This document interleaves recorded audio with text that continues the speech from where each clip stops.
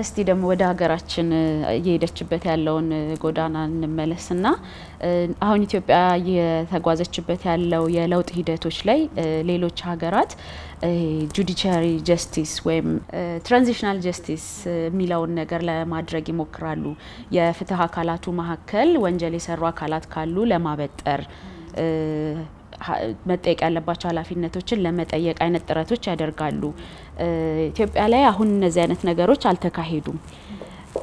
ስለዚህ ህዝቡ ፍርድ ቤቱ ላይ ያለው ጥሩ ያልሆነ አመለካከትን እንዳይፋቅ አያደርግም ወይ? ይህ ነገር እርስዎና መስሪያ ቤቶ ከያዙት የህዝቡን ታማኒነት መመለስ ከሚለው ጋር አይጋጭም ወይ? ወይም ለእናንተ double ፈተና አይሰጣችሁም ወይ? የዚህ የ transitional justice ትንሽ ለየት ያለ concept ነው። እሱ ምንድን ነው?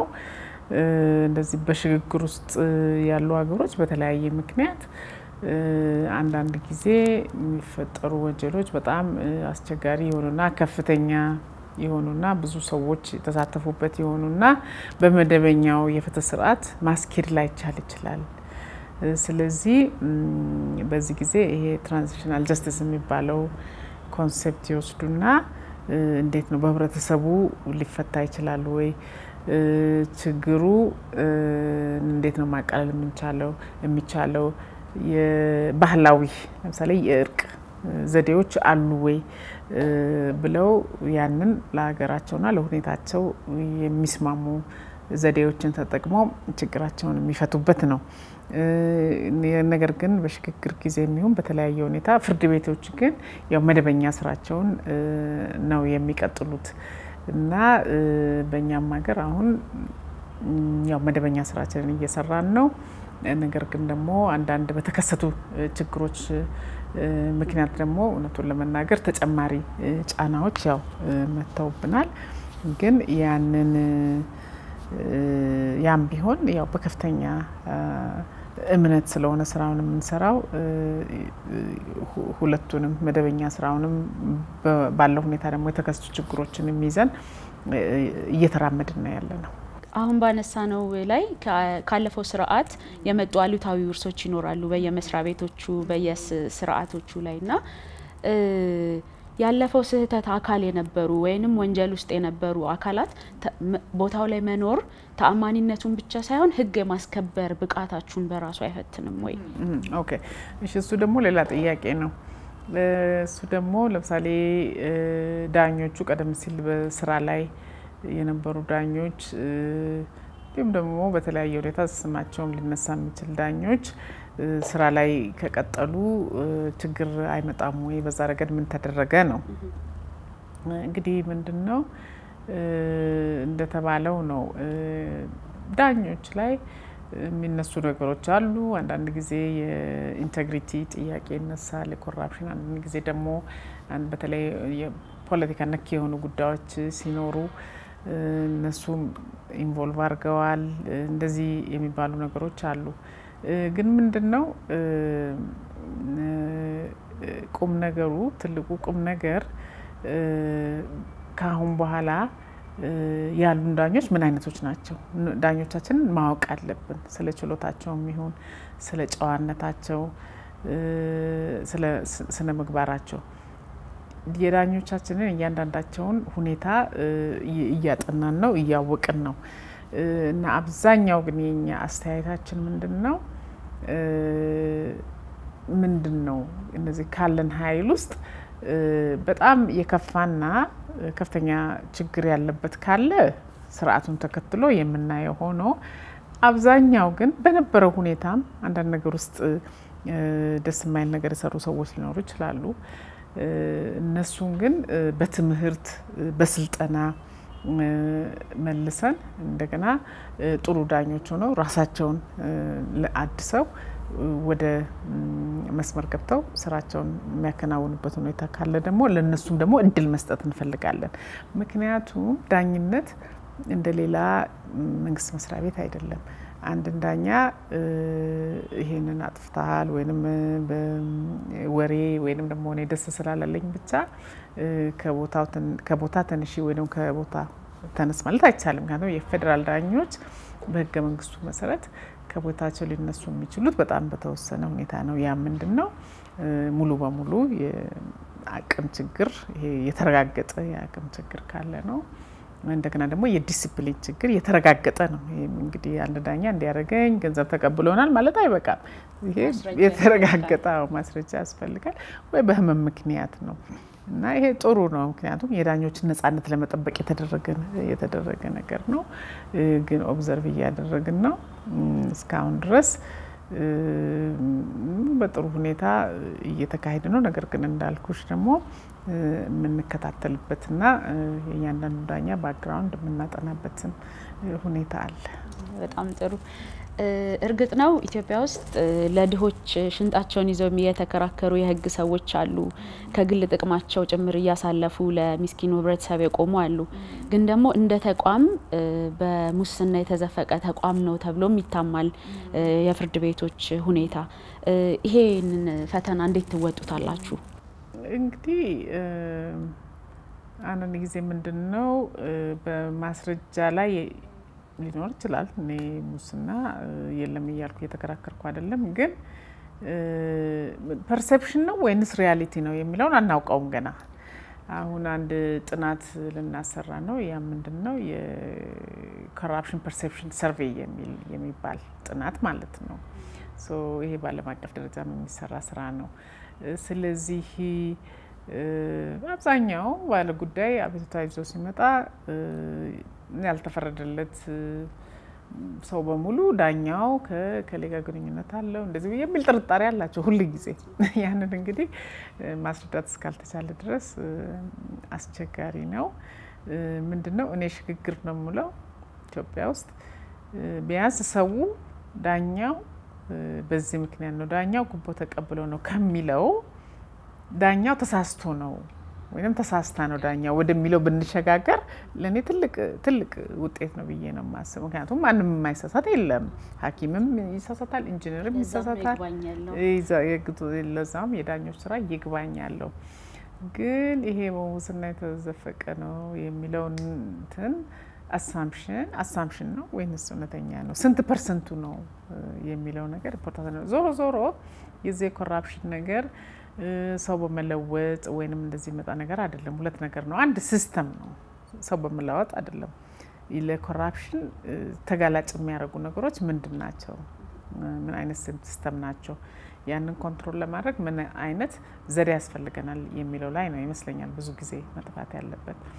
በሌላ በኩል ደግሞ የገቢ ሁኔታና corruption እንኳን ይገናኛል አይገናኝም የሚለው እንደተጠበቀ ሆኖ የዳኞች ጥቅማ ጥቅምና ዳኞች የሚያገኙት benefit ከስራቸውና ካላቸው ኃላፊነት ጋር በጣም የተራራቀ ነው። በጣም የተራራቀ ነው እና በዛም ረገድ ስራ መሰራት ያለበት ይመስለኛል። ያው ሀገራችን ገና ነው፣ እድገት ላይ ነው ያለ ነው። ብዙ ከፍተኛ ጥያቄዎች ማንሳት አንችልም፣ ግን ደግሞ በተወሰነ ደረጃ እሱም ደግሞ መስተካከል አለበት። ጥሩ ሰዎችንም ወደ ፍርድ ቤት ደግሞ ማምጣት እነዚህን ሁሉ ማሻሻያዎች የሚጠይቅ ስራ ነው። የፍርድ ቤቶችን ነጻነት በማያከብር አገዛዝ ስር መኖር ቀጥተኛ ጫና ብቻ ሳይሆን ዳኞች ራሳቸውን በራሳቸው እንዲመረምሩ ወይም ሴንሰር እንዲያደርጉ የማድረግ ባህሪ ይኖረዋል። ቅድምም እርስዎ ነካክተውልን ነበረ። ዳኞቹ ከራሳቸው አመለካከትም ጭምር መጽዳት አለበት ፍርዳቸው ሲሉን ነበር እና ይህንን መንግስት እንዲህ ብፈርድ ደስ አይለውም የሚል ራስን ሴንሰር የማድረግንስ ነገር ለዳኞቻችሁ እንዴት ነው ስልጠናዎች ይሰጣሉ ወይስ ይህንን overcome የሚያደርጉበት መንገድ?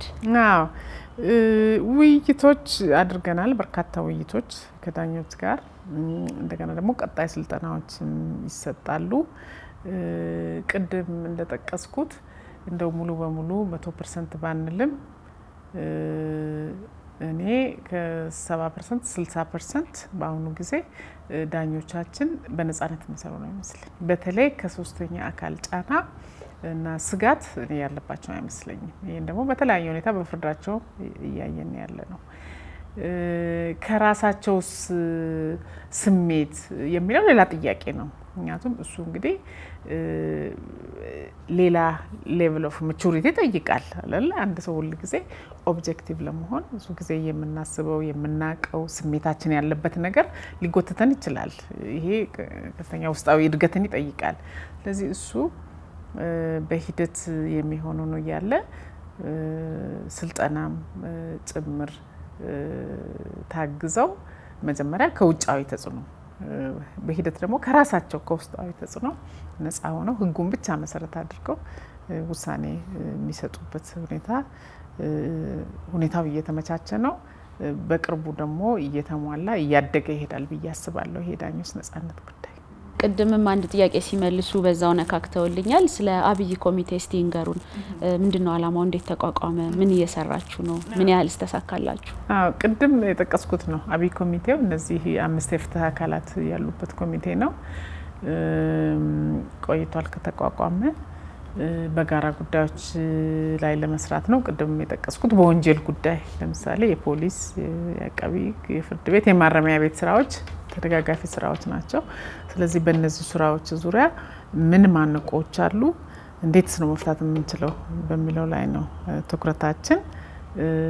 አሁን ባለፈው አንድ ወር እንደተመለከታችሁት በርካታ ስራ ተሰርቷል። ዶኪመንተሪ በፍትህ ጉዳይ ላይ ተሰርቷል። ህዝቡን ማስተማሪያ የሚሆን የቴሌቪዥን ስፖቶች ተሰርተዋል። በተለያየ መስሪያ ቤት የማነቃቂያ እንቅስቃሴዎች ተደርገዋል። ዛሬ ከተማውን በሙሉ ማርሽ ባንድ ለፍትህ ለመዘመር ከተማ በሙሉ ዛሬ ሲንቀሳቀሱ ነው የነበረው። የመጨረሻው activity ደግሞ እንዳልሽው 15 ሚሊዮን ህዝብ የሚገኝበት ጠቅላይ ሚኒስትሩ የሚገኙበት መጣው ማክሰኞ ጳጉሜ አምስት ይከበራል።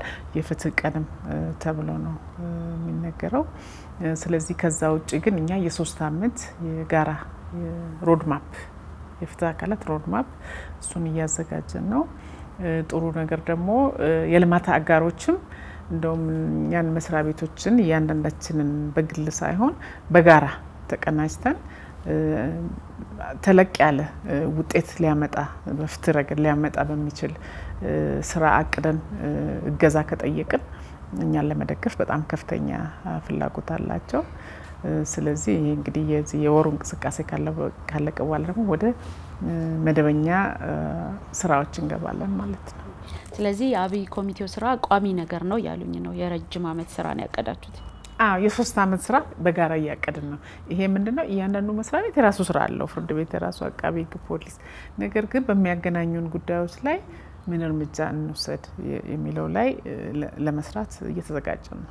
እስቲ ወደ ወይዘሮ መዓዛ ደግሞ እንመለስ። እርስዎ የሰብአዊ መብት ታጋይ ኖት።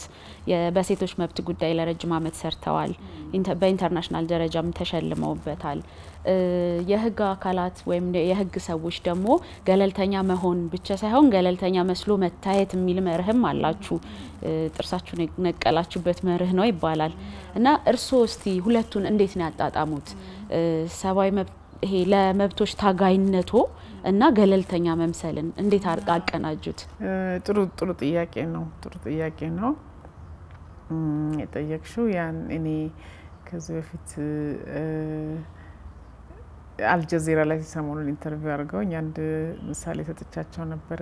ልክ ስሾም መጀመሪያ እንዲህ አይነት በመንግስት በኩል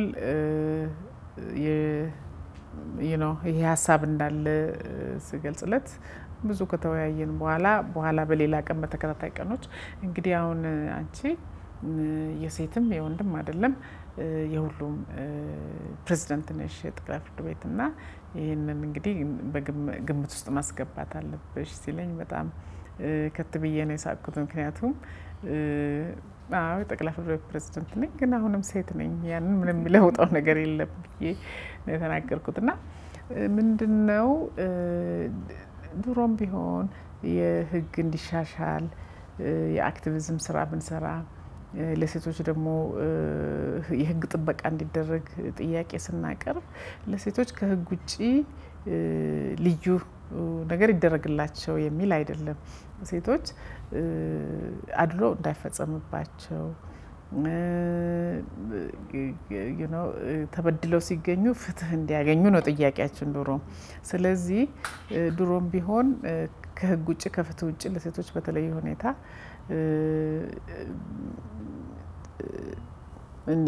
ልዩ ነገር እንዲደረግ አልታሰበም። ስለዚህ አሁን ያለሁበትን ቦታ ሴትም ይሁን ወንድ ፍትህ እንዲያገኙ ነው ዋናው ምኞት።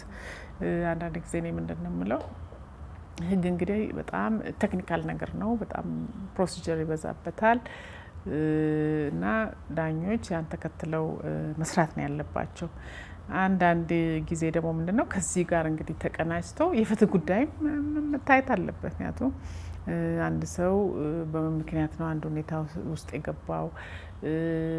ውሳኔው ደግሞ ምን አይነት ውጤት አለው? ለምሳሌ የፍቺ ጉዳይ ከሆነ በህፃናት ላይ ምን አይነት ውጤት አለው?